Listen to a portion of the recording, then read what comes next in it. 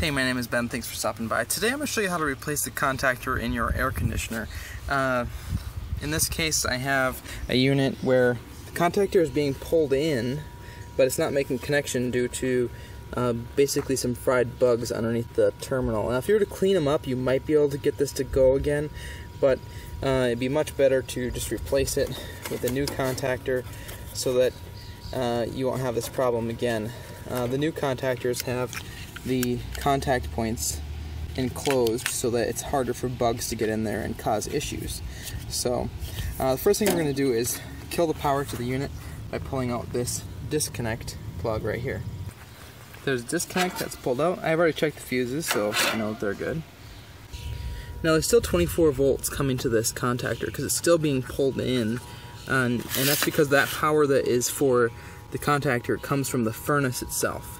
So we could either go turn off the thermostat so that the air conditioning is not calling, or we could shut off the breaker to the furnace. Either way, I think I'll turn off the thermostat. Here are the thermostat. We're just going to set the fan to auto, that's already on auto, and the system to off. The cool uh, indicator went off, so there should be no power coming out to the unit on the control wiring. So the contactor is no longer pulled in, which means we don't have um, power out here. And the reason we do that is so that if you were to accidentally bump these control wires up against something, it's only 24 volts that feeds this coil, so it's not gonna like shock you per se, but if it touched the sidewalls, it could short out and blow the fuse inside of the furnace. So you just wanna have all the power turned off for um, that reason. Now we're gonna start by just taking the contactor itself loose um, before we take any of the wires off it. And then if we can, if we have room, we'll put the new one in place before we start, start to switch the wires over. Because that just makes the process of switching the wires a lot easier. So, I think that's just, is it just those two? Yeah, it's just those two. So we'll kind of just tip this back out of the way and I'll see if I can get this new one to mount into place here. So L1 L1 and L2, this is where the power will come in, and this is the power going out to the unit. So we'll put it in this orientation because the power is coming in from the right on this particular one. Most of the time, it would be um, like in this orientation.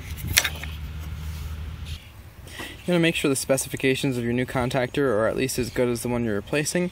Uh, in this case, it's 24 volt uh, coil, so that's where this terminal and this terminal go to.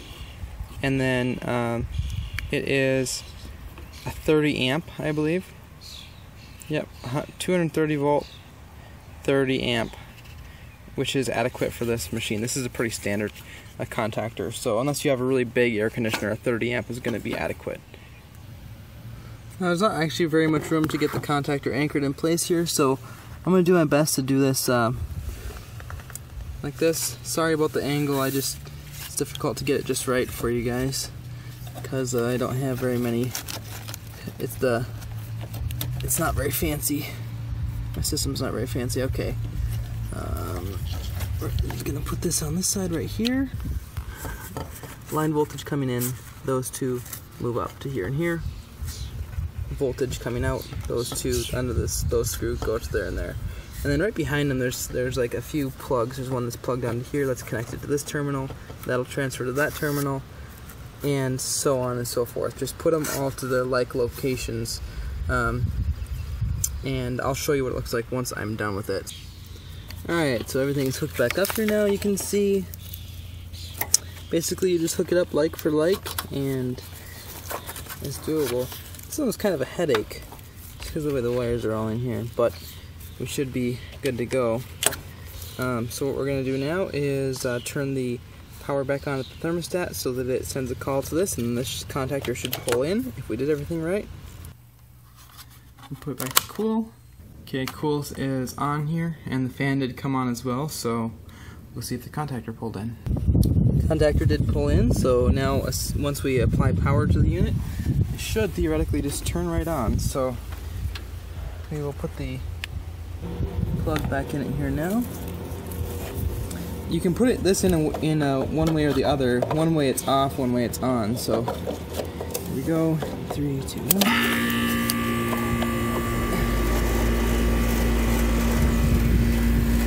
This box needs to get re-anchored on the wall. Anyway, there we go.